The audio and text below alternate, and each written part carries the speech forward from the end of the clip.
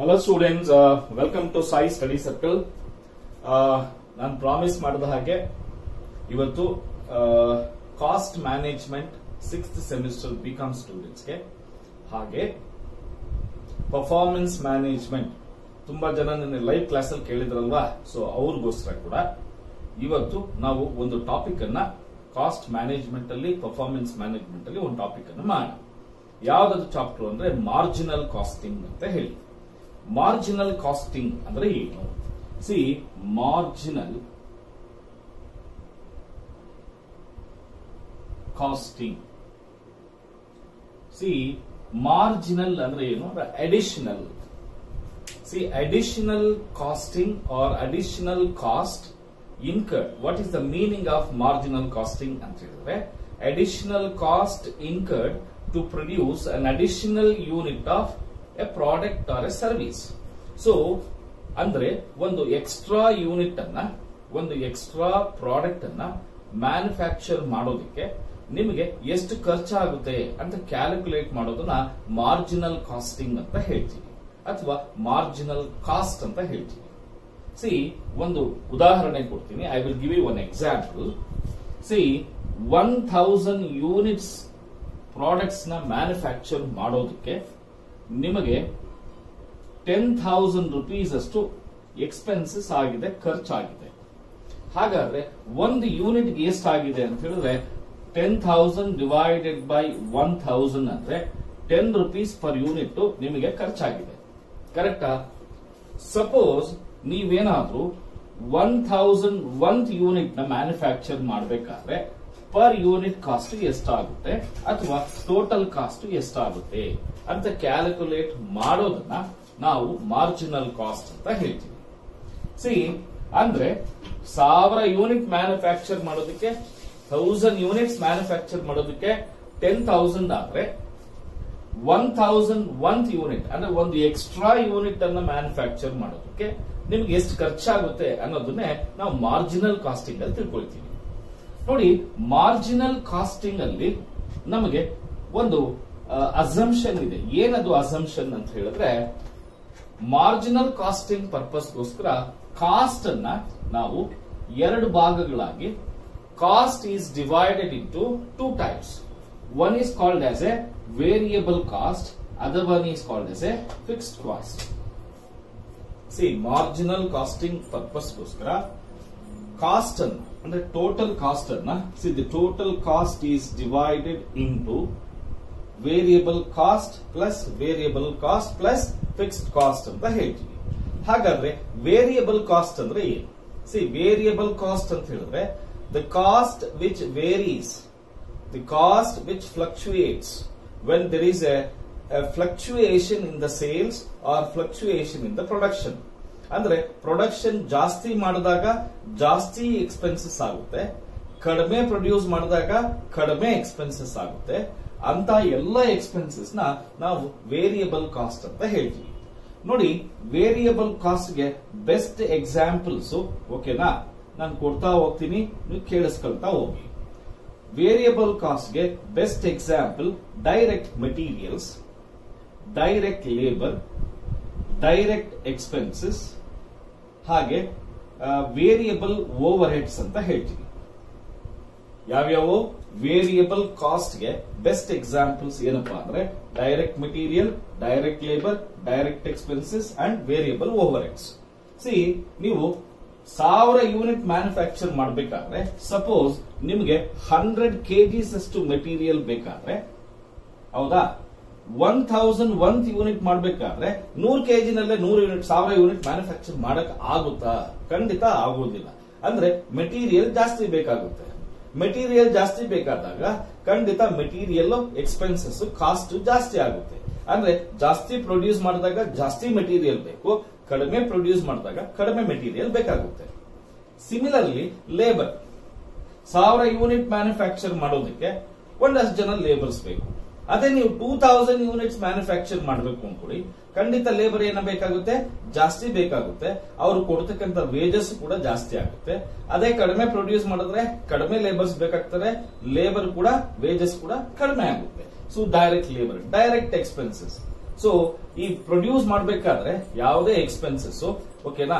Additional expenses manufacturing expenses ಏನಿದೆ? ಅವನ್ನೆಲ್ಲ ನಾವು ಡೈರೆಕ್ಟ್ ಎಕ್ಸ್ಪೆನ್ಸಸ್ ಅಂತ ಹೇಳ್ತೀವಿ. ಉಳಿದಂತೆ ಬೇರೆ ಎಕ್ಸ್ಪೆನ್ಸಸ್ ಡೈರೆಕ್ಟ್ ಆಗಿ ಪ್ರೊಡಕ್ಷನ್ಗೆ ಇನ್ವಾಲ್ವ್ ಆಗಿರೋದನ್ನ ವೇರಿಯಬಲ್ ಓವರ್ ಎಕ್ಸ್ ಅಂತ ಹೇಳ್ತೀವಿ. ಸೊ ಹಾಗಾದ್ರೆ ನಮ್ಗೆ ವೇರಿಯಬಲ್ ಕಾಸ್ಟ್ ಅಂದ್ರೆ ಏನ್ ಅರ್ಥ ಆಯ್ತು ಅಂದ್ರೆ ಕಾಸ್ಟ್ ಯಾವಾಗ್ಲೂ ಏನಾಗ್ತಾ ಇರುತ್ತೆ? ಚೇಂಜ್ ಆಗ್ತಾ ಇರುತ್ತೆ. ಏನ್ ಚೇಂಜ್ ಆಗ್ತಾ ಇರುತ್ತೆ? ನೀವು ಪ್ರೊಡಕ್ಷನ್ ಜಾಸ್ತಿ ಮಾಡಿದಾಗ ಜಾಸ್ತಿ ಎಕ್ಸ್ಪೆನ್ಸಸ್ ಆಗುತ್ತೆ, ಕಡಿಮೆ ಮಾಡಿದಾಗ ಕಡಿಮೆ ಆಗುತ್ತೆ. ಅದನ್ನೇ ನಾವು ವೇರಿಯಬಲ್ ಕಾಸ್ಟ್ ಅಂತ ಹೇಳ್ತೀವಿ. ಅದಕ್ಕೆ ಬೆಸ್ಟ್ ಎಕ್ಸಾಂಪಲ್ಸ್ ಇಲ್ಲಿ ಹೇಳಿದ್ದೀನಿ.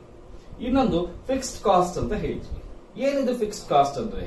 See cost which remains same which remains fixed irrespective of if you produce more or less ಅಂದ್ರೆ ನೀವು ಜಾಸ್ತಿ ಪ್ರೊಡ್ಯೂಸ್ ಮಾಡಿದ್ರು, ಕಡಿಮೆ ಪ್ರೊಡ್ಯೂಸ್ ಮಾಡಿದ್ರು if you produce more or less the cost will be remain same that such cost is called as a fixed cost ಇದನ್ನ stagnant ಅಂತ ಹೇಳ್ತೀವಿ. Stagnant cost ಅಂತಾನು ಹೇಳ್ತೀವಿ. ಸೇ ಅಂದ್ರೆ ಏನು ಯಾವುದೇ ಕಾರಣಕ್ಕೂ ಚೇಂಜ್ ಆಗೋದಿಲ್ಲ. ಸೇ ಫಾರ್ ಎಕ್ಸಾಂಪಲ್ ಈಗ ಒಬ್ಬ ಬಿಸ್ನೆಸ್ ಮ್ಯಾನ್ ಓಕೆನಾ ಮ್ಯಾನುಫ್ಯಾಕ್ಚರಿಂಗ್ ಬಿಸ್ನೆಸ್ ಮ್ಯಾನ್ ಓಕೆನಾ ಮ್ಯಾನುಫ್ಯಾಕ್ಚರ್ ಮಾಡ್ತಾ ಇದ್ದಾನೆ. ಅವನು ಆಫೀಸ್ ಅಥವಾ ಅವನದು ಮ್ಯಾನುಫ್ಯಾಕ್ಚರಿಂಗ್ ಯೂನಿಟ್ ರೆಂಟೆಡ್ ಅಲ್ಲಿ ಇದೆ ಅಂತ ಇಟ್ಕೊಳ್ಳಿ. ಓಕೆನಾ ರೆಂಟ್ ಕೊಡ್ತಾ ಇರ್ತೇನೆ ಆ ಪ್ರಿಮೈಸಸ್ಗೆ ರೆಂಟ್ ರಿಮೈನ್ ಸೇಮ್ ನೀವು ಥೌಸಂಡ್ ಯೂನಿಟ್ಸ್ ಮ್ಯಾನುಫ್ಯಾಕ್ಚರ್ ಮಾಡಿದ್ರು ಅಷ್ಟೇ ರೆಂಟ್ ಕೊಡ್ಬೇಕಾಗುತ್ತೆ. ಟೆನ್ ತೌಸಂಡ್ ಯೂನಿಟ್ಸ್ ಮಾಡಿದ್ರು ಅಷ್ಟೇ ಕೊಡ್ಬೇಕಾಗುತ್ತೆ. ಸೊ ಈ ತರದ್ದು ಸೇ ಅದಕ್ಕೆ ನಾನು ಎಕ್ಸಾಂಪಲ್ ಏನಂತ ಕೊಟ್ಟೆ? ರೆಂಟ್ ಅಂತ ಹೇಳಿದೆ. ಹೌದಾ? ಸ್ಯಾಲರೀಸ್ ಅಂತ ಹೇಳಿದೆ. ಸ್ಯಾಲರೀಸ್ ಎಂಪ್ಲಾಯೀಸ್ಗೆ ಹೆಚ್ಚು ಜಾಸ್ತಿ ಪ್ರೊಡ್ಯೂಸ್ ಮಾಡಿದ್ರೆ ಏನಾದ್ರು ಜಾಸ್ತಿ ಕೇಳ್ತಾರಾ? ಕಡಿಮೆ ಪ್ರೊಡ್ಯೂಸ್ ಮಾಡಿದ್ರೆ ಕಡಿಮೆ ಕೊಡು ಅಂತ ಹೇಳ್ತಾರಾ? ಇಲ್ಲ. ಸೊ ಸ್ಯಾಲರೀಸ್ ಸೇಮ್ ಆಗಿರುತ್ತೆ. ಒಂದು ಮಷೀನ್ ಒಂದ್ ಮಷೀನ್ ಎಷ್ಟು ಬೇಕಾದ್ರೂ ಮ್ಯಾನುಫ್ಯಾಕ್ಚರ್ ಮಾಡಬಹುದು ಮಷೀನ್ ಏನಾದ್ರೂ ಹೇಳುತ್ತಾ, ಏ, ಇವತ್ತಿಗೆ ಸಾವಿರ ಯೂನಿಟ್ ನಾನು ಮ್ಯಾನುಫ್ಯಾಕ್ಚರ್ ಮಾಡೋದು ಅದಕ್ಕಿಂತ ಜಾಸ್ತಿ ಮಾಡಲ್ಲ ಅಂತ ಹೇಳುತ್ತಾ, ಖಂಡಿತ ಇಲ್ಲ. ಸೊ ಡಿಪ್ರಿಸಿಯೇಷನ್ ಈ ತರದ್ದು ಒಂದಷ್ಟು, ಓಕೆನಾ? ಒಂದಷ್ಟು ಅಡ್ಮಿನಿಸ್ಟ್ರೇಷನ್ ಎಕ್ಸ್ಪೆನ್ಸಸ್ ಅಂತ ಹೇಳ್ತೀವಿ. ಓಕೆನಾ? ಎಸ್ಟಾಬ್ಲಿಷ್ಮೆಂಟ್ ಎಕ್ಸ್ಪೆನ್ಸಸ್ ಅಂತ ಹೇಳ್ತೀವಿ. ಇವೆಲ್ಲ ಕೂಡ ಏನಾಗಿರುತ್ತೆ? ಸೇಮ್ ಆಗಿರುತ್ತೆ. So best example for fixed cost ಅಂತ ಹೇಳಿದ್ರೆ administration cost administration cost and establishment cost ಅಂತ ಹೇಳ್ತೀವಿ. ಇನ್ನು ಸೆಲ್ಲಿಂಗ್ ಅಂಡ್ ಡಿಸ್ಟ್ರಿಬ್ಯೂಷನ್ ಅಲ್ಲೂ ಕೂಡ ಒಂದಷ್ಟು ಫಿಕ್ಸ್ಡ್ ಆಗಿರುತ್ತೆ, ಒಂದಷ್ಟು ವೇರಿಯಬಲ್ ಆಗಿರುತ್ತೆ. ನಾನು ಆ ಪಾಯಿಂಟ್ ಬಂದಾಗ ಯಾಕಷ್ಟು ವೇರಿಯಬಲ್ ಆಗಿರುತ್ತೆ, ಯಾಕಿಷ್ಟು ಫಿಕ್ಸ್ಡ್ ಆಗಿರುತ್ತೆ ಅಂತ ನಾನು ಹೇಳ್ತೀನಿ. ಸೊ ಇದು ಮಾರ್ಜಿನಲ್ ಕಾಸ್ಟಿಂಗ್ ಅನ್ನ ಅರ್ಥ ಮಾಡ್ಕೊಳ್ಬೇಕು ಅಂದ್ರೆ ನಾವು ಒಂದು ಅಸಂಪ್ಷನ್ ಒಟ್ಟಿಗೆ ಹೋಗ್ತೀವಿ. ಅದನ್ನೇ cost is divided into two types one is variable cost other one is fixed cost ಅಂತ ಹೇಳಿ. ಸೊ ಈ ಅಸಂಪ್ಷನ್ ಇಲ್ಲ ಅಂದ್ರೆ ಖಂಡಿತ ಮಾರ್ಜಿನಲ್ ಕಾಸ್ಟ್ ಅನ್ನು ನಾವು ಮಾಡೋದಕ್ಕೆ ಸಾಧ್ಯನೇ ಇಲ್ಲ. ಈಗ ನಾವು ಟೆಕ್ನಿಕ್ಸ್ ಹೋಗೋಣ. ಸಿ ಮಾರ್ಜಿನಲ್ ಕಾಸ್ಟಿಂಗ್ ನಾವು ಟೆಕ್ನಿಕ್ ಅಂತ ಹೇಳ್ತೀವಿ. ಕಾಸ್ಟಿಂಗ್ ಅಂದ್ರೆ ಏನು ಅಂತ ಹೇಳಿದ್ರೆ it is the method of ascertaining the cost ಅಂತ ಹೇಳ್ತೀವಿ. ಕಾಸ್ಟಿಂಗ್ ಕಾಸ್ಟಿಂಗ್ ಅಂದ್ರೆ ಏನು? Method of ascertaining the cost ನೀವು ಯಾವುದಾದ್ರೂ ಒಂದು ವಸ್ತುವನ್ನ, ಸೇವೆಯನ್ನ ಮ್ಯಾನುಫ್ಯಾಕ್ಚರ್ ಮಾಡಬೇಕಾದ್ರೆ, ಒಂದು ವಸ್ತುನ ಮ್ಯಾನುಫ್ಯಾಕ್ಚರ್ ಮಾಡೋದಕ್ಕೆ ಎಷ್ಟು ಖರ್ಚಾಗುತ್ತೆ ಅಂತ ಕಂಡಿಡಿರ್ತಕ್ಕಂಥ ವಿಧಾನವನ್ನ ನಾವು ಕಾಸ್ಟಿಂಗ್ ಅಂತ ಹೇಳ್ತೀವಿ.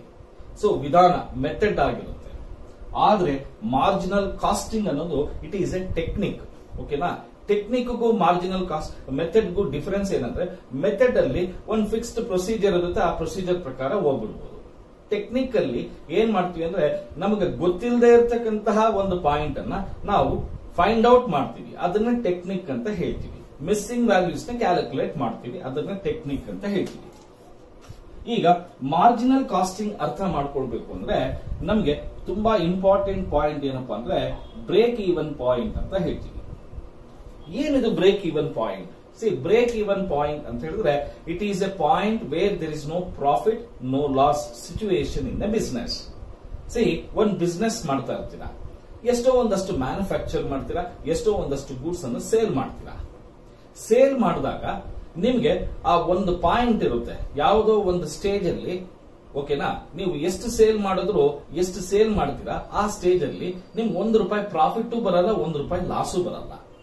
ಅಂತ ಪಾಯಿಂಟ್ ಅನ್ನ, ಅಂತ ಸ್ಟೇಜ್ ಅನ್ನ ನಾವು ಬ್ರೇಕ್ ಈವನ್ ಪಾಯಿಂಟ್ ಅಂತ ಹೇಳ್ತೀವಿ. ಹಾಗಾದ್ರೆ, ಸರ್ ಏನಕ್ಕೆ ಸರ್ ಇದು ಏನ್ ಬೇಕು? Why we have to study the break even point break even point ಇಂದ ನಮ್ಗೆ ಏನು ಉಪಯೋಗ? ಸಿ ನೀವೇ ನಿಮ್ಗೆ ಹೇಳ್ತೀನಿ ನೋಡಿ. ಸಪೋಸ್ ನೀವು ಐದು ಸಾವಿರ ಯೂನಿಟ್ಸ್ ಮ್ಯಾನುಫ್ಯಾಕ್ಚರ್ ಮಾಡಿ ಸೇಲ್ ಮಾಡಿದ್ರೆ, ನಿಮಗೆ ಬ್ರೇಕ್ ಈವನ್ ಪಾಯಿಂಟ್ ಬಂತು ಅಂತ ಇಟ್ಕೊಳ್ಳಿ. ನೋ ಪ್ರಾಫಿಟ್ ನೋ ಲಾಸ್ ಬಂತು ಅಂತ ಇಟ್ಕೊಳ್ಳಿ. ಯಾರಾದರೂ ಅಷ್ಟೇ ಬಿಸ್ನೆಸ್ ಮ್ಯಾನ್ ಅವನ ಉದ್ದೇಶ ಏನು? What is the objective of doing a business definitely for making profits ಕರೆಕ್ಟಾ so every business man's primary objective is earning profits if you don't have earnings if there is no profits no loss then what is the use of doing the business ಹೌದಾ? ಈ business ಮ್ಯಾನ್ಗೆ ಅವನಿಗೆ break even point ಅಂದ್ರೆ no profit no loss ಐದು ಸಾವಿರ unit ಮಾಡ ಒಂದ್ ಒಂದು ರೂಪಾಯಿ ಪ್ರಾಫಿಟ್ ಬರಲ್ಲ, ಒಂದ್ ರೂಪಾಯಿ ಲಾಸು ಆಗಲ್ಲ ಅಂತ ಗೊತ್ತಾಗ್ಬಿಟ್ರೆ ಡೆಫಿನೆಟ್ ಆಗಿ ಆ ಬಿಸ್ನೆಸ್ ಮ್ಯಾನ್ ಏನ್ ಮಾಡ್ತಾನೆ? He will start increasing he will start increasing the sales ಕರೆಕ್ಟಾ ಪ್ರೊಡಕ್ಷನ್ ಮತ್ತೆ ಸೇಲ್ಸ್ ಅನ್ನ ಇನ್ಕ್ರೀಸ್ ಮಾಡ್ತಾನೆ. ಅವನು ಏನ್ ಮಾಡ್ತಾನೆ? ಓಕೆ ಐದ್ ಸಾವಿರ ಯೂನಿಟ್ ಮ್ಯಾನುಫ್ಯಾಕ್ಚರ್ ಮಾಡಿದ್ರೆ ಪ್ರಾಫಿಟ್ ಇಲ್ಲ, ಲಾಸು ಇಲ್ಲ. ಸೊ ಹಾಗಾದ್ರೆ ನಾನು I have to try to sell ten thousand unit so that I will get profits ಅಂತ ಗೊತ್ತಾಗುತ್ತೆ. ಅವನು ಫೈವ್ ತೌಸಂಡ್ ಯೂನಿಟ್ಸ್ ಗಿಂತಲೂ ಕಡಿಮೆ ಮಾರಾಟ ಮಾಡಿದ್ರೆ ಅವ್ರಿಗೇನಾಗುತ್ತೆ ಲಾಸ್ ಆಗುತ್ತೆ. ಸೊ ಹಾಗಾದ್ರೆ ಫೋರ್ ಥೌಸಂಡ್ ಯೂನಿಟ್ಸ್ ಮ್ಯಾನುಫ್ಯಾಕ್ಚರ್ ಮಾಡಿದ್ರೆ ಏನಾಗುತ್ತೆ? ಲಾಸ್ ಬರುತ್ತೆ. ಅದೇ ಟೆನ್ ಥೌಸಂಡ್ ಯೂನಿಟ್ಸ್ ಮ್ಯಾನುಫ್ಯಾಕ್ಚರ್ ಮಾಡಿದ್ರೆ ಏನ್ ಬರುತ್ತೆ? ಪ್ರಾಫಿಟ್ ಬರುತ್ತೆ. ಇದ್ರ ಮಧ್ಯದಲ್ಲಿ ಏನಿರುತ್ತೆ? No profit no loss situation ಇರುತ್ತೆ. ಸೊ ಹಾಗಾದ್ರೆ ಬ್ರೇಕ್ ಇವನ್ ಪಾಯಿಂಟ್ ಇಂದ ನಮಗೆ ಒಂದು ಏನ್ ತಿಳ್ಕೊಳ್ಬಹುದು ಅಂತ ಹೇಳಿದ್ರೆ ನಮಗೆ ಎಷ್ಟು ಲಾಭ ಬೇಕು ಅಷ್ಟು ಲಾಭನ ನಾವು ಏನ್ ಮಾಡಬಹುದು ಸೆಟ್ ಮಾಡ್ಕೊಳ್ಬಹುದು ಎಸ್ ಈ ವರ್ಷ ನಾನು ಇಷ್ಟು ಪ್ರಾಫಿಟ್ ಅನ್ನ ಗಳಿಸಬೇಕು ಅಂತ ಹೇಳಿ ಡಿಸೈಡ್ ಮಾಡ್ಕೊಂಡು ಪ್ಲಾನ್ ಮಾಡ್ಕೊಳ್ಬಹುದು ಇಷ್ಟು ಪ್ರಾಫಿಟ್ ಬೇಕಾದ್ರೆ ನಾನು ಎಷ್ಟು ಸೇಲ್ಸ್ ಮಾಡಬೇಕು? ಅದು ಕೂಡ ಗೊತ್ತಾಗುತ್ತೆ. ಕರೆಕ್ಟಾ ಪ್ರಾಫಿಟ್ ಕಡಿಮೆ ಆಗಿದೆ ಅಂತ ಹೇಳಿದಾಗ ಪ್ರಾಫಿಟ್ ಯಾಕೆ ಕಡಿಮೆ ಆಗಿದೆ? ಏನಾದರೂ ವೇರಿಯಬಲ್ ಕಾಸ್ಟ್ ಏನಾದರೂ ಜಾಸ್ತಿ ಆಯ್ತಾ? ಫಿಕ್ಸ್ಡ್ ಕಾಸ್ಟ್ ಏನಾದರೂ ಜಾಸ್ತಿ ಆಯ್ತಾ? ಸೊ ಈ ರೀತಿ ಅನೇಕ ರೀತಿಯಾಗಿರ್ತಕ್ಕಂಥ ಒಂದು ಡಿಸಿಷನ್ಸ್ ಅನ್ನ ನಾವು ತಗೊಳ್ಬಹುದು by understanding the break even point all of you got it yes sir okay ಹಾಗಾದ್ರೆ ನಾವು ಬ್ರೇಕ್ ಇವನ್ ಪಾಯಿಂಟ್ ಅನ್ನ ಯಾವ ರೀತಿ ಕ್ಯಾಲ್ಕುಲೇಟ್ ಮಾಡ್ತೀವಿ? ಸಿ ಬ್ರೇಕ್ ಇವನ್ ಪಾಯಿಂಟ್ ಅನ್ನ ನಾವು ಎರಡು ತರ ಕ್ಯಾಲ್ಕುಲೇಟ್ ಮಾಡ್ತೀವಿ. ಒಂದು ಬ್ರೇಕ್ ಇವನ್ ಪಾಯಿಂಟ್ ಅನ್ನ ಯೂನಿಟ್ಸ್ ಅಲ್ಲಿ ಕ್ಯಾಲ್ಕುಲೇಟ್ ಮಾಡ್ತೀವಿ. ಯಾವ ರೀತಿ ಕ್ಯಾಲ್ಕುಲೇಟ್ ಮಾಡ್ತೀವಿ ಅಂದ್ರೆ ಬ್ರೇಕ್ ಈವನ್ ಪಾಯಿಂಟ್ಗೆ ಫಾರ್ಮುಲಾ ಬಂದು fixed cost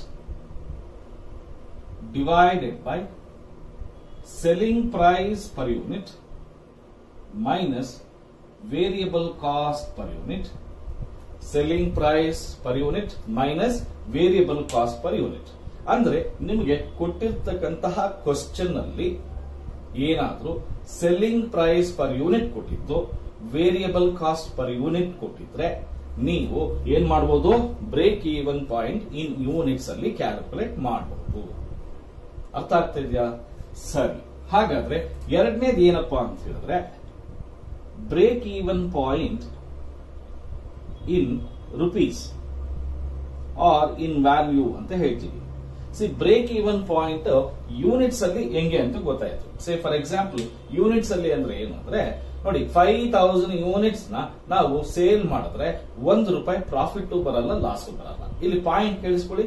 five thousand units ಮಾಡಿದ್ರೆ ನೋ ಪ್ರಾಫಿಟ್ ನೋ ಲಾಸ್ ಅಂದ್ರೆ no profit no loss situation ಯಾವ ರೀತಿ ಕ್ಯಾಲ್ಕುಲೇಟ್ ಮಾಡ್ತಾ ಇದೀವಿ ಯೂನಿಟ್ಸ್ ಅಲ್ಲಿ. ಅಂದ್ರೆ ಫೈವ್ ತೌಸಂಡ್ ಯೂನಿಟ್ಸ್ ಮ್ಯಾನುಫ್ಯಾಕ್ಚರ್ ಮಾಡಿದ್ರೆ ಪ್ರಾಫಿಟ್ ಇಲ್ಲ ಲಾಸು ಇಲ್ಲ. ಆ ತರ ಪ್ರೆಸೆಂಟೇಶನ್ ಕೊಡ್ತಾ ಇದ್ವಿ ಆದ್ರೆ break even point in rupees ಅಥವಾ ವ್ಯಾಲ್ಯೂ ನಲ್ಲಿ ಏನ್ ಮಾಡ್ತೀವಿ ಅಂದ್ರೆ ನಾವು ಇಷ್ಟು ರೂಪಾಯಿ ಮಾರಿದ್ದಕ್ಕೆ ನೋ ಪ್ರಾಫಿಟ್ ನೋ ಲಾಸ್ ನೋಡಿ ಎಷ್ಟು ಡಿಫರೆನ್ಸ್ ಇದೆ.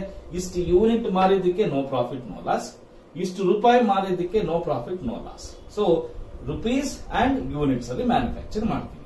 ಸರ್ ರುಪೀಸ್ ಅಲ್ಲಿ ಯಾವಾಗ ಸರ್ ಮಾಡ್ತೀವಿ ಅಂತಂದ್ರೆ ನಾ ಹೇಳ್ತೀನಿ.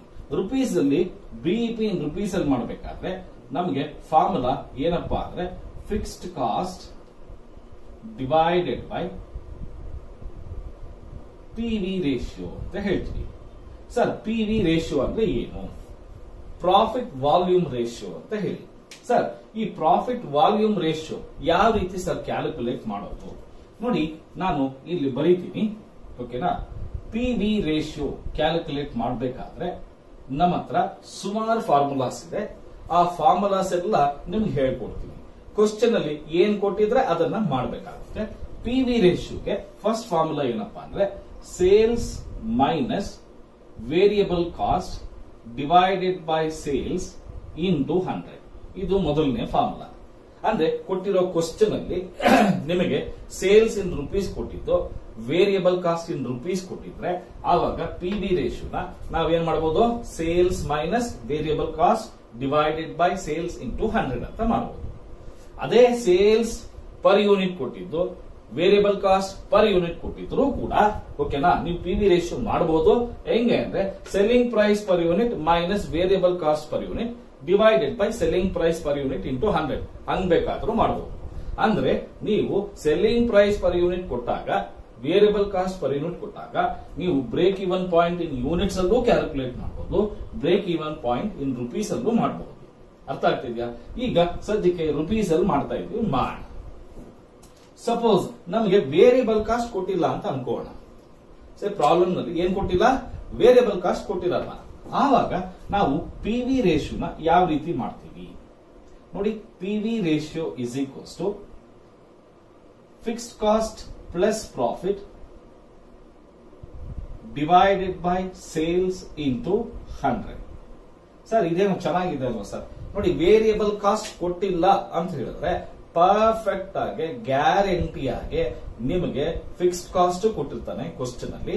ಹಾಗೆ ಪ್ರಾಫಿಟ್ ಅನ್ನು ಕೂಡ ಕೊಟ್ಟಿರ್ತಾನೆ.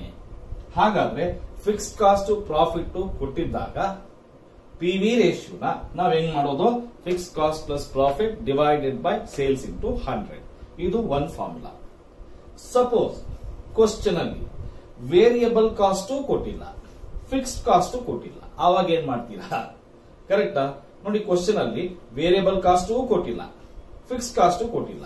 ನೋಡಿ ಸೇಲ್ಸ್ ಕೊಟ್ಟು ವೇರಿಯಬಲ್ ಕಾಸ್ಟ್ ಕೊಟ್ರೆ ಫಸ್ಟ್ ಫಾರ್ಮುಲಾ ಪಿ ವಿ ರೇಷಿಯೋಗೆ ವೇರಿಯಬಲ್ ಕಾಸ್ಟ್ ಕೊಟ್ಟಿಲ್ಲ. ಆವಾಗ ಫಿಕ್ಸ್ ಕಾಸ್ಟ್ ಪ್ರಾಫಿಟ್ ಕೊಟ್ಟಿದ್ದು ಸೇಲ್ಸ್ ಕೊಟ್ಟಿದ್ರೆ ಆವಾಗ P V ರೇಷಿಯೋನ we can calculate as fixed cost plus profit divided by sales into hundred ಮಾಡ್ತೀವಿ.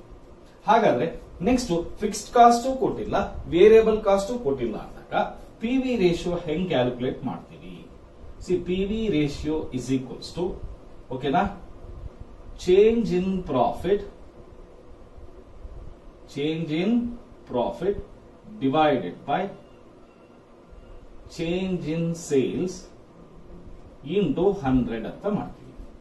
ಅಂದ್ರೆ, ಆಗ ಯಾವಾಗ ವೇರಿಯಬಲ್ ಕಾಸ್ಟ್ ಕೊಟ್ಟಿರಲ್ಲ ಪ್ರಾಫಿಟ್ ಕೊಟ್ಟಿರಲ್ಲ ವೇರಿಯಬಲ್ ಕಾಸ್ಟ್ ಕೊಟ್ಟಿರಲ್ಲ ಪ್ರಾಫಿಟ್ ಕೊಟ್ಟಿರಲ್ಲ, ಆವಾಗ sorry variable cost fix cost ಎರಡೂ ಕೊಟ್ಟಿರಲ್ಲ ಡೆಫಿನೆಟ್ ಆಗಿ ಆವಾಗ ನಮಗೆ ಸೇಲ್ಸ್ ಇನ್ಫಾರ್ಮೇಶನ್ ಕೊಟ್ಟಿರ್ತಾನೆ ಪ್ರಾಫಿಟ್ ಇನ್ಫಾರ್ಮೇಶನ್ ಕೊಟ್ಟಿರ್ತಾನೆ. ಅದು ಎರಡೆರಡು ವರ್ಷದ್ದು ಪ್ರಾಫಿಟ್ ಎರಡು ವರ್ಷದ್ದು ಸೇಲ್ಸ್ ಕೊಟ್ಟಿರ್ತಾನೆ. ಆಗ ಆ ಎರಡು ವರ್ಷಗಳ difference of profit divided by ಎರಡು ವರ್ಷಗಳ difference of sales into hundred ಮಾಡಿದ್ರೆ ನಮಗೆ ಪಿ ವಿ ರೇಷಿಯೋ ಬರುತ್ತೆ. ಕ್ಲಿಯರಾ ಓಕೆ ಸರ್ ಸರ್, ಹಾಗಾದ್ರೆ ನಾವು ಏನೇನ್ ತಿಳ್ಕೊಂಡ್ವಿ? Break even point in units break even point in rupees break even point in rupees ಮಾಡಬೇಕಾದ್ರೆ ಏನ್ ಬೇಕು ನಮ್ಗೆ? ಪಿ ವಿ ರೇಷಿಯೋ ಬೇಕು. ಪಿ ವಿ ರೇಷಿಯೋನ ಮೂರ್ ಫಾರ್ಮುಲಾ ಇಂದ ಯೂಸ್ ಮಾಡಬಹುದು depending on the question question ಅಲ್ಲಿ ಏನ್ ಕೊಟ್ಟಿದ್ದಾನೆ, ಏನಿಲ್ಲ ಅಂತ ನೋಡ್ಬಿಟ್ಟು ನಾವು ಮಾಡಬೇಕಾಗುತ್ತೆ. ಓಕೆನಾ ಈಗ ಇಲ್ಲಿವರೆಗೂ ಆಯ್ತು. ಈಗ ಮೂರನೇ ಪಾಯಿಂಟ್ ಹೇಳ್ಕೊಡ್ತೀನಿ. ಮೂರನೇ ಫಾರ್ಮುಲಾ ಏನ್ ಸರ್ ಇದು ಮೂರನೇ ಫಾರ್ಮುಲಾ ಅಂತ ಹೇಳಿದ್ರೆ, ಕೆಲವು ಸಾರಿ ಏನ್ ಮಾಡ್ತಾನೆ ಗೊತ್ತಾ? ಅವನು ಕ್ವಶನ್ ಕೇಳ್ತಾನೆ. ನಾನು ಇಷ್ಟು ಸೇಲ್ಸ್ ಮಾಡಿದ್ರೆ, ಇಷ್ಟು ಅಮೌಂಟ್ ಸೇಲ್ಸ್ ಮಾಡಿದ್ರೆ ಎಷ್ಟು ಪ್ರಾಫಿಟ್ ಬರುತ್ತೆ ಅಂತ ಕೇಳ್ತಾನೆ. ನಾನು ಸಪೋಸ್ ಐದು ಲಕ್ಷ ರೂಪಾಯಿ ಫೈವ್ ಲ್ಯಾಕ್ ರುಪೀಸ್ ಸೇಲ್ಸ್ ಮಾಡಿದ್ರೆ ಪ್ರಾಫಿಟ್ ಎಷ್ಟು ಬರುತ್ತೆ ಅಂತ ಕೇಳಿರ್ತಾನೆ ಆಗ ನಾವು ಏನ್ ಮಾಡ್ತೀವಿ ಅಂದ್ರೆ sales is equals to fixed cost fixed cost plus profit divided by PV ratio ಅಂದ್ರೆ same BEP ಫಾರ್ಮುಲಾನೆ fix cost divided by P V ರೇಷಿಯೋನೆ ಆದ್ರೆ ಬಿಇಪಿ ಬದಲು ಏನ್ ಹಾಕೊಳ್ತಾ ಇದೀವಿ ಸೇಲ್ಸ್ ಹಾಕೊಳ್ತಾ ಇದೀವಿ ಎಷ್ಟು ಪ್ರಾಫಿಟ್ ಬೇಕು ಅಂತ ಕಂಡುಹಿಡಿತೀವಿ. ಕೆಲವು ಸಾರಿ ಏನಾಗುತ್ತೆ ಅಂತ ಹೇಳಿದ್ರೆ ಓಕೆನಾ ಕೆಲವು ಸಾರಿ profit one lakh rupees earn ಮಾಡಬೇಕಾದ್ರೆ ಎಷ್ಟು ರೂಪಾಯಿ ಸೇಲ್ಸ್ ಮಾಡಬೇಕು ಅಂತ ಕೇಳಿದಾಗ ಓಕೆನಾ ಸೊ ಇದು ಸೇಮ್ ಫಾರ್ಮುಲಾ ಓಕೆನಾ when sales is given to find out profit profit ಎಷ್ಟು ಕ್ಯಾಲ್ಕುಲೇಟ್ ಮಾಡಬೇಕು ಅಂತ ಗೊತ್ತಾಗಬೇಕು. When profit is given when profit is given sales ಎಷ್ಟು ಅಂತ ಕ್ಯಾಲ್ಕುಲೇಟ್ ಮಾಡಬೇಕು. ಸಿ ಎರಡಕ್ಕೂ ಸೇಮ್ ಫಾರ್ಮುಲಾನೇ ಯೂಸ್ ಮಾಡ್ತೀವಿ. ಎರಡಕ್ಕೂ ಏನ್ ಮಾಡ್ತೀವಿ? ಸೇಮ್ ಫಾರ್ಮುಲಾ ಯೂಸ್ ಮಾಡ್ತೀವಿ. ಎಲ್ರಿಗೂ ಅರ್ಥ ಆಯ್ತಾ? ಓಕೆ. ಸರ್, ಇದಾದ್ಮೇಲೆ ಇನ್ನೂ ಏನಾದ್ರೂ ಹೇಳ್ಕೊಡ್ತೀರಾ? ಅಂದ್ರೆ ಖಂಡಿತ ಹೇಳ್ಕೊಡ್ತೀನಿ. ಏನದು ಅಂದ್ರೆ, ಈಗ ನಾಲ್ಕನೇ ಫಾರ್ಮುಲಾ ನಾನು ತುಂಬಾ ಕಡಿಮೆ ಫಾರ್ಮುಲಾನಲ್ಲೇ ಈ ಚಾಪ್ಟರ್ ಅನ್ನ ಮುಗಿಸೋದಕ್ಕೆ ಟ್ರೈ ಮಾಡ್ತೀನಿ. ಯಾಕೆಂದ್ರೆ ಬೇರೆಯವರೆಲ್ಲ ಒಂದು ಹದಿನೈದು ಹದಿನೈದು ಫಾರ್ಮುಲಾ ತೋರಿಸ್ತಾರೆ. ನಾನು ಖಂಡಿತ ಅಷ್ಟಷ್ಟು ಫಾರ್ಮುಲಾಸ್ ತೋರಿಸೋದಕ್ಕೆ ಹೋಗೋದಿಲ್ಲ. ಓಕೆನಾ? ನೆಕ್ಸ್ಟ್ ಏನಪ್ಪಾ ಅಂತ ಹೇಳಿದ್ರೆ ಮಾರ್ಜಿನ್ ಆಫ್ ಸೇಫ್ಟಿ ಅಂತ ಹೇಳ್ತಾರೆ. ಮಾರ್ಜಿನ್ ಆಫ್ ಸೇಫ್ಟಿ ಸರ್, ಏನಿದು ಮಾರ್ಜಿನ್ ಆಫ್ ಸೇಫ್ಟಿಗೆ ಫಾರ್ಮುಲಾ ಏನು? Margin of ಸೇಫ್ಟಿಗೆ formula profit divided by P V ratio ಏನಿದು? Profit divided by P V ratio ಇದಕ್ಕೆ ಇನ್ನೂ ಒಂದು ಫಾರ್ಮುಲಾ ಇದೆ. ಏನದು ಅಂತ ಹೇಳಿದ್ರೆ margin of safety is equals to actual sales minus break even sales ಅಂತ ಹೇಳಿ. Actual sales minus break even sales ಅಂದ್ರೆ ಕೊಟ್ಟಿರೋ ಕ್ವಶನ್ ಅಲ್ಲಿ ಎಷ್ಟು ಆಕ್ಚುಯಲ್ ಆಗಿ ಸೇಲ್ಸ್ ಆಗಿದೆ? ಸೇಲ್ಸ್ ಎಷ್ಟು ಆಗಿದೆ? ಬ್ರೇಕ್ ಇವನ್ ಸೇಲ್ಸ್ ಎಷ್ಟಿದೆ ಅದರ ಡಿಫರೆನ್ಸ್ ಅನ್ನ ಮಾರ್ಜಿನ್ ಆಫ್ ಸೇಫ್ಟಿ ಅಂತ ಹೇಳ್ತೀವಿ. ನಿಮಗೆ ಸೇಲ್ಸ್ ಕೊಟ್ಟಿಲ್ಲ ಅಂತ ಹೇಳಿದಾಗ ಸೇಲ್ಸ್ ಕೊಟ್ಟಿಲ್ಲ ಅಂತ ಹೇಳಿದಾಗ, ಅಥವಾ ಯಾವ್ದಾದ್ರು ಬಿಇಪಿ ಸೇಲ್ಸ್ ಗೊತ್ತಿಲ್ಲ ಅಂದಾಗ ಮಾರ್ಜಿನ್ ಆಫ್ ಸೇಫ್ಟಿ ಪ್ರಕಾರ ಏನಾಗ್ಬೋದು? Profit divided by P V ratio ಹೋಗ್ಬೋದು. ಇದಾದ್ಮೇಲೆ ಲಾಸ್ಟ್ ಫಾರ್ಮುಲಾ ಇನ್ನೇನು ಜಾಸ್ತಿ ಹೇಳ್ಕೊಡಲ್ಲ. ಓಕೆನಾ ಇಲ್ಲಿ ನೋಡಿ one two three four five ಈ ಪಿ ವಿ ರೇಷಿಯೋದು ಡಿಪೆಂಡಿಂಗ್ ಆನ್ ದ ಸಿಚುವೇಶನ್ ಯಾವ್ದಾದ್ರು ಒಂದೇ ಯೂಸ್ ಮಾಡೋದು. ಸೊ ದೇರ್ ಫೋರ್ ನಿಮ್ಗೆ ಮ್ಯಾಕ್ಸ್ ಟು ಮ್ಯಾಕ್ಸ್ ಎಷ್ಟು ಫಾರ್ಮುಲಾಸ್ ಬರುತ್ತೆ? ಆರೇ ಫಾರ್ಮುಲಾನೇ ಬರೋದು. ಓಕೆನಾ ಈಗ ಐದನೇದು ಏನದು ಅಂತ ಹೇಳಿದ್ರೆ ಸಿ ಇದನ್ನ ಮಾಸ್ಟರ್ ಫಾರ್ಮುಲಾ ಅಂತ ಹೇಳ್ತೀವಿ. ಏನಿದು? ಮಾಸ್ಟರ್ ಫಾರ್ಮುಲಾ ಏನಿರುತ್ತೆ ಇದರಲ್ಲಿ ಅಂದ್ರೆ sales minus variable cost is equals to fixed cost plus profit ಇದನ್ನ ಏನಂತ ಹೇಳ್ತೀವಿ? ಮಾಸ್ಟರ್ ಫಾರ್ಮುಲಾ ಅಂತ ಹೇಳ್ತೀವಿ. ಅಂದ್ರೆ sales minus variable cost sales minus variable cost fix cost plus profit fix cost plus profit so ಇವೆರಡೂ ಕೂಡ ಇದು ಎಷ್ಟಿರುತ್ತೋ ಇದು ಕೂಡ ಅಷ್ಟೇ ಇರುತ್ತೆ. ಈ ಫಾರ್ಮುಲಾ ಏನಕ್ಕೆ ಯೂಸ್ ಮಾಡ್ತೀವಿ? ಅಂದ್ರೆ ಕೆಲವು ಸಾರಿ ಪ್ರಾಫಿಟ್ ಕ್ಯಾಲ್ಕುಲೇಟ್ ಮಾಡೋದಕ್ಕೆ ಯೂಸ್ ಮಾಡಬಹುದು ಕೆಲವು ಸಾರಿ ಫಿಕ್ಸ್ಡ್ ಕಾಸ್ಟ್ ಕ್ಯಾಲ್ಕುಲೇಟ್ ಮಾಡೋದಕ್ಕೆ ಮಾಡಬಹುದು ಕೆಲವು ಸಾರಿ ವೇರಿಯಬಲ್ ಕಾಸ್ಟ್ ಮಾಡೋದಕ್ಕೆ ಮಾಡಬಹುದು ಕೆಲವು ಸಾರಿ ಸೇಲ್ಸ್ ಬೇಕಾದ್ರೂ ಮಾಡಬಹುದು ಓಕೆನಾ ಇದಾದ ನಂತರ ನನ್ನ ಹತ್ರ ಒಂದು ಫಾರ್ಮುಲಾ ಇದೆ. ಅದನ್ನೇ ಸಪೋಸ್ ಪ್ರಾಬ್ಲಮ್ನಲ್ಲಿ ಫಿಕ್ಸ್ಡ್ ಕಾಸ್ಟ್ ಕೊಟ್ಟಿಲ್ಲ ಅಂದ್ರೆ ಏನ್ ಮಾಡಬಹುದು ಫಿಕ್ಸ್ಡ್ ಕಾಸ್ಟ್ನ ಏನ್ ಕ್ಯಾಲ್ಕುಲೇಟ್ ಮಾಡೋದು? ನೋಡಿ ಫಿಕ್ಸ್ಡ್ ಕಾಸ್ಟ್ನ ಕ್ಯಾಲ್ಕುಲೇಟ್ ಮಾಡಬೇಕು ಅಂದ್ರೆ ನನ್ನ ಹತ್ರ ಒಂದು ಫಾರ್ಮುಲಾ ಇದೆ. ಅದು ತುಂಬಾ ತುಂಬಾ ಈಸಿ ಫಾರ್ಮುಲಾ ನಾ ಹೇಳ್ಕೊಡ್ತೀನಿ. ಹೆಂಗ್ ಮಾಡೋದು ಅಂತ? ಇದನ್ನ ಬೇಕಾದ್ರೆ ನಾಲ್ಕನೇದು ಅಂತಾನೆ ಅನ್ಕೊಳ್ಳಿ. ಇದನ್ನ ಐದನೇದು ಅಂತ ಅನ್ಕೊಳ್ಳಿ. ಇದನ್ನ ಆರನೇದು ಅನ್ಕೋಣ ಏನಂತ ಹೇಳಿದೆ ಫಿಕ್ಸ್ ಕಾಸ್ಟ್ ಏನ್ ಕ್ಯಾಲ್ಕುಲೇಟ್ ಮಾಡೋದು? Fix cost is equals to sales into P V ratio minus profit ನೋಡಿ sales into P V ratio minus profit ಇಷ್ಟು ಫಾರ್ಮುಲಾಸ್ನ ನಾವು ಯಾವ್ಯಾವ ಪ್ರಾಬ್ಲಮ್ಗೆ ಯಾವ್ಯಾವ ಥರ ಫಾರ್ಮುಲಾನ ಅಪ್ಲೈ ಮಾಡಬೇಕು ಅಂತ ಸೆನ್ಸ್ ಇದ್ರೆ ನಮಗೆ ಕಾಸ್ಟ್ ಮ್ಯಾನೇಜ್ಮೆಂಟ್ ಅಲ್ಲಾಗ್ಲಿ ಪರ್ಫಾರ್ಮೆನ್ಸ್ ಮ್ಯಾನೇಜ್ಮೆಂಟ್ ಅಲ್ಲಾಗ್ಲಿ ನಿಜವಾಗ್ಲೂ ಹೇಳ್ತಾ ಇದ್ದೀನಿ, ಇಪ್ಪತ್ತು ಮಾರ್ಕ್ಸ್ ಗ್ಯಾರಂಟಿ ಬರುತ್ತೆ ಬರೀ ಪ್ರಾಬ್ಲಮ್ಸ್ ಓಕೆನಾ ಈಗ ಇಷ್ಟು ಸಾಕು ಬೇಸಿಕ್ ಓಕೆನಾ ನೆಕ್ಸ್ಟ್ ಒಂದಷ್ಟು ಪ್ರಾಬ್ಲಮ್ಸ್ ಅನ್ನು ಮಾಡಿ. Thank you so much